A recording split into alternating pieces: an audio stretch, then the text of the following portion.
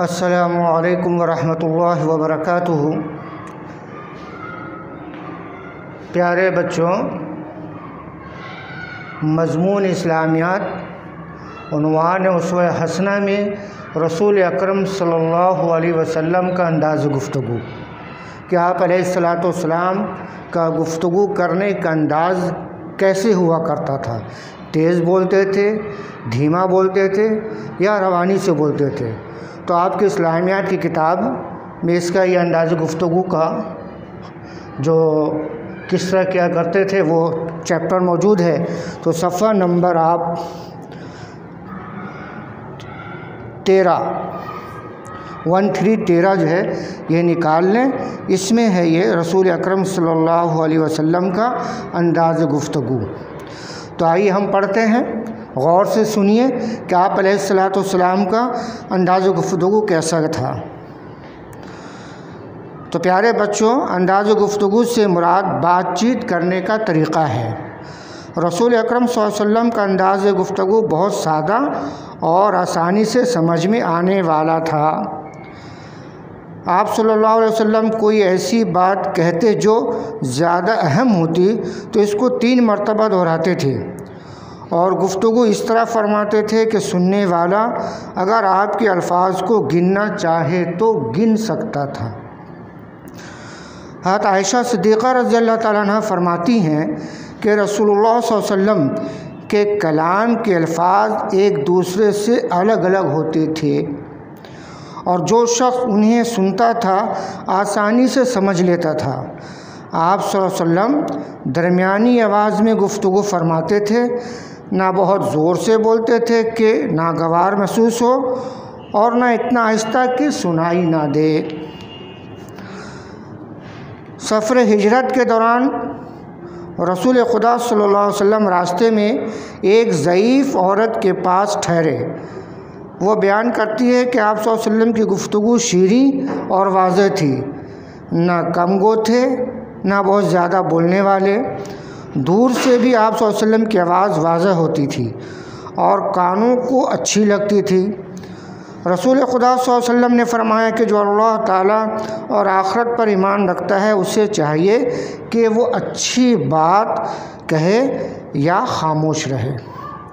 गुफ्तु में एहतियात की तालीम देते हुए चबा चबा कर और फ़ख्र व गरूर के साथ बात करने से मना फरमाया।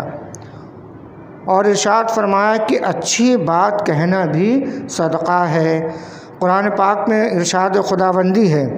वक़ूलन्ना से हसना, तर्जमा, और लोगों से अच्छी बात कहो। सूर्य बकरा आयत नंबर चौरासी। एक मतवा हजूर अकरम वसल्लम ने बार बार दोजा का ज़िक्र फरमाया और इरशाद फरमाया कि दोजख से बचो।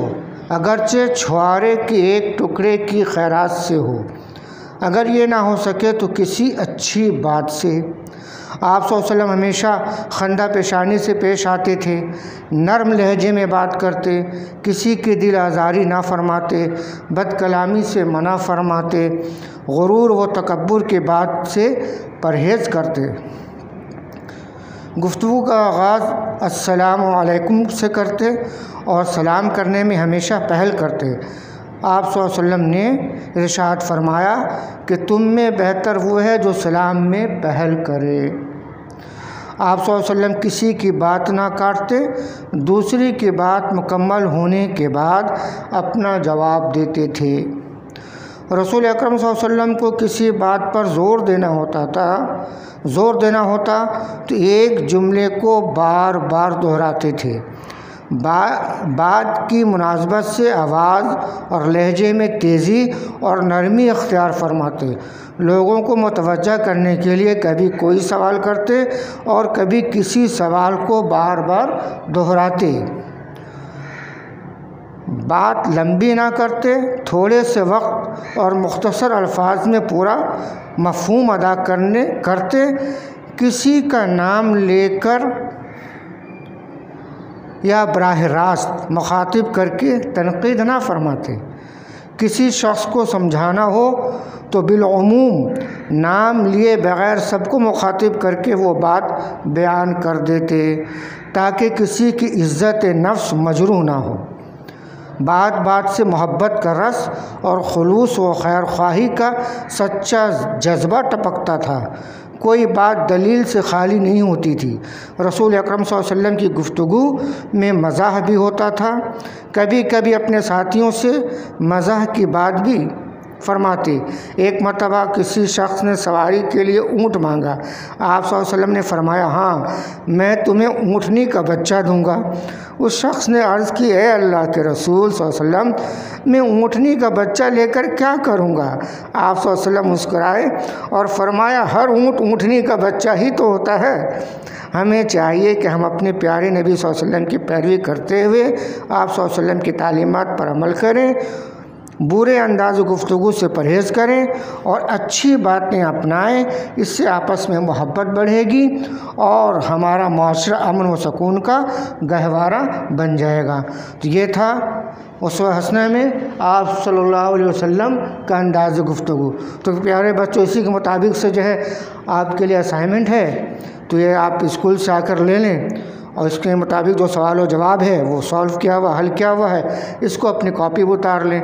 मुश्किल अल्फाज के माने भी हैं, सही, गलत की निशानदही भी है और ख़ाली जगह भी है। फिर आपको इतला कर दी जाएगी, ये असाइनमेंट कब जमा करना है?